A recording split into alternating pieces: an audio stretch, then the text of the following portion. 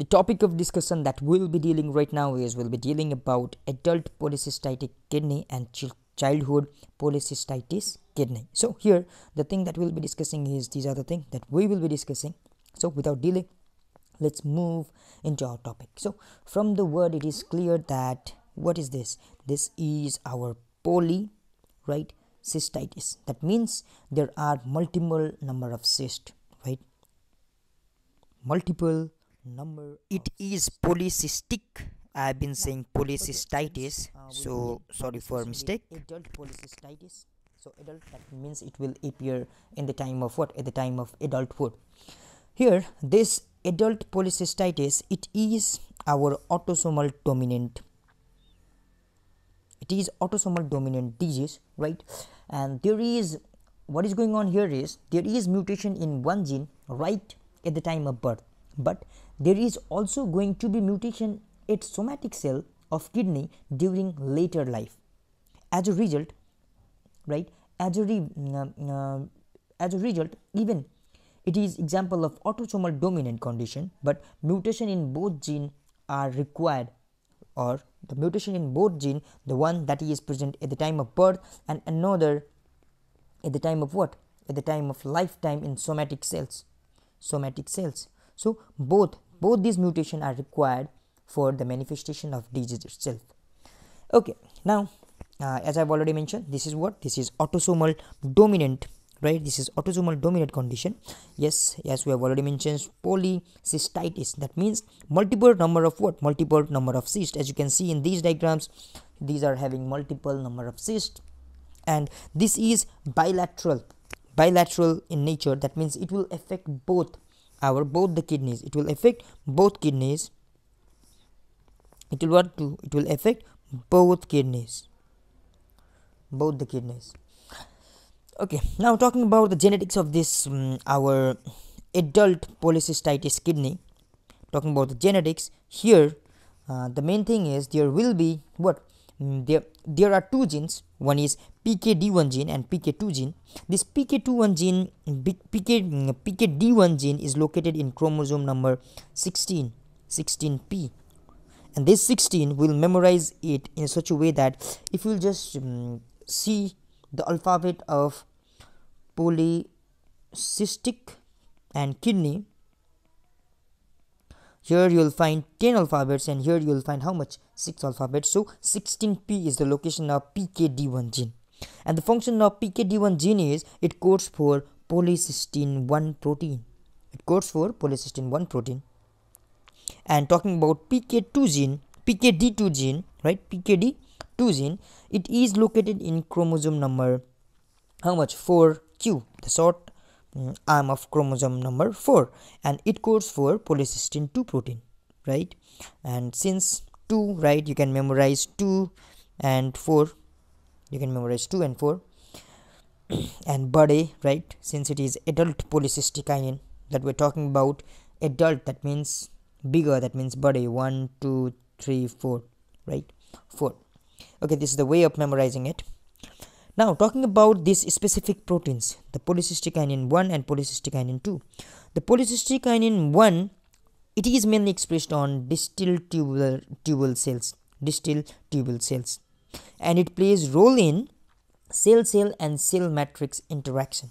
It is only present this polycystokinin 1 it is it is expressed on distal tubule cells and play role in cell cell and cell matrix interaction. Talking about polycystic polycystokinin 2 it expressed on the cell of all nephron every cell of nephron and plays a role in calcium channel functioning right? Okay we talked about what? Polycystin polycystin 1 and polycystin 2 uh, protein right? And since we are talking about what? We are talking about genetic factor for causing our adult polycystic kidney the polycystin 1 right? There will be mutation in our this pkd1 gene and pk2 gene mm, pkd2 gene uh, because of mutation in these two genes what will happen? There will be what? There will be alteration in cell cell and cell matrix interaction and there will be alteration in what? There will be alteration in calcium channel functioning. Okay. Now mutation in these evolved gene what they will do is they will call they will they will cause increase in cell proliferation and that will cause increase in secretion and there will be the formation of cyst. And this is the mechanism of cyst formation. Okay let us move toward this diagram here. Yes we talked about what mutation in polycystin 1 and 2 or fibrocytic or nephrocystins. And this cause what? All this cause alteration in mechanosensation by tubular cilia. There will be altered calcium flux. Yes we have talked about uh, calcium what? Calcium functioning uh, in polycystin kinin 2 protein right? And these will eventually cause altered tubular epithelial growth and differentiation. There will be what? There will be excessive cell proliferation and that will lead to cyst formation right? There will be increase in fluid secretion also. Abnormal extracellular matrices will also be increased that will cause eventually cyst formation. And these cysts what they will do is they will cause glomerular vascular damage. They will call in they will they will it will cause interstitial inflammation or fibrosis deposition of fiber. So this was about what? This was about genetic factor of adult polycystic kidney. Now moving further what we have is we have here the gross feature. Talking about the gross feature yes uh, what will happen here is as you can see right here right the both of the kidney both the kidneys both the kidneys will be enlarged. Both the kidneys will be enlarged. That means this there will be bilateral enlargement of kidney and there will be multiple cyst more than one cyst multiple cyst and these multiple cysts will be located in cortex and medulla in both region. Yes the in gross feature the point that we need to um, we we are not tend to forget is that the first one is that there will be what? There will be bilateral enlargement. Bilateral enlargement. Bilateral enlargement of kidney. And another thing is what? There will be involvement of cortex and medulla both and there will be the presence of what? And this bilateral enlargement why it was happening? It was happening of multiple multiple cysts right? Multiple cysts. And there will be variable lining in cyst also right? There will be variable lining of cysts also okay this was about what this was about the gross feature. Yes there will be bilateral enlargement kidney there will be a bilateral enlarged, enlarged kidney there will be presence of multiple cysts present in cortex and medulla both region. There will be variable lining of cyst. That's all. Now talking about clinical feature right? Talking about clinical feature the thing that we need to know is it will be asymptomatic. It will be what? Uh symptomatic or symptomatic till adulthood adult life right? And why? Because as we have said that mm, this is the feature of our autosomal dominant condition. And another the most common manifestation is the flank pain. Flank pain. Now what is this flank pain? It is abdominal pain. Sometimes there is more secretion in cyst and there can be the condition of hemorrhage in cyst because of which these cysts are going to increase in size enormously that can cause abdominal pain or the flank pain. And this is the most common manifestation of our what? Polycystic kidney right? Adult polycystic kidney. Now another clean uh, another clinical feature is there can be bleeding that may cause hematuria. Hematuria. There can be what? The presence of the protein in urine and that is our proteinuria. Protein urea right okay. So we talked about what? We talked about these clinical feature asymptomatic till adult life right? Flank pain hematuria. There can be hypertension condition because of alteration in renin angiotensin um, system. There will be the presence of protein in urea. The urine that is proteinuria now talking about what? Extra renal manifestation. That means outside of kidney what are the things that will be involved? Outside of kidney there will be the most commonly the liver will be what? Affected. Liver will be affected we have got spleen we have got pancreas we have got ovary in the case of female and the lungs is extremely um, extremely rarely it is rarely what affected. Similarly there is no cyst in brain and it is most commonly asked question that there is no involvement of cyst in brain right? Now another important condition that is Berry aneurysm what is this? It is what is this? This is um, problem in visual wall in what our cerebral circulation right this Berry aneurysm in our cerebral circulation there is problem in vessels uh, vessels wall. Okay and that is what our berry aneurysm and another condition that we need to know is about cvs right? Cardiovascular system there will be mitral valve prolapse. Mitral valve prolapse. And similarly talking about git there will be colonic uh, diverticulosis right? Colonic diverticulosis.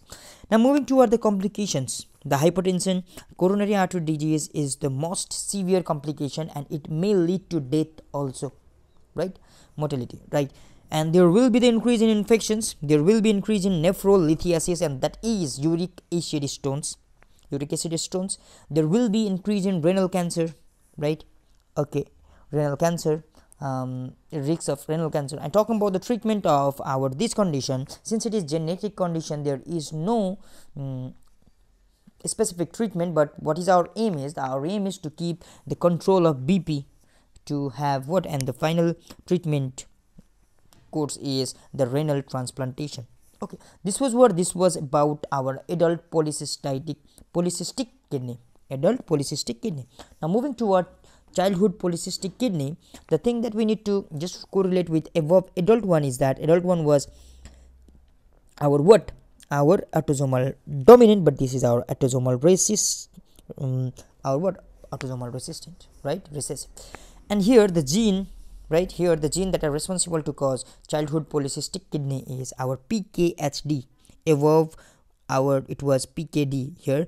Pkhd one type gene that is located in chromosome number 6p right? Long arm. And we'll memorize it as bacha that is 1 2 3 4 5 6 right? Okay.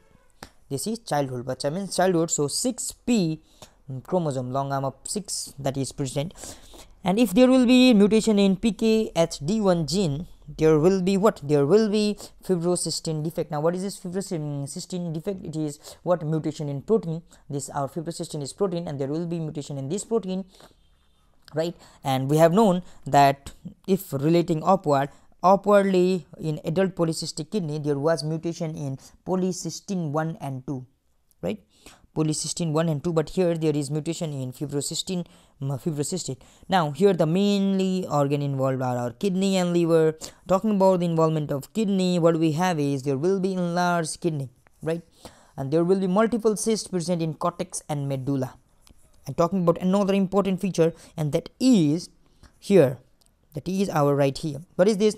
This is cyst present at right angle to cortex right? And this will be sponge in apodians and this is the most what? Distinguishing feature there will be cyst present right angle to right angle to our cortex cortex. Okay. Now another thing that we need to keep in our mind is there will be cyst right? The cyst um, that will have epithelial lining. The epithelial lining of cyst will be there.